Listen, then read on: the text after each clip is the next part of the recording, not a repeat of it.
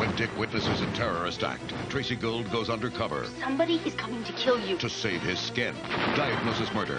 Then, a cop is attacked, He was never violent. and the finger of guilt points to Peter Strauss. Put that freak back out on the street. Maloney after Diagnosis Murder. All new scene of the crime, CBS Thursday.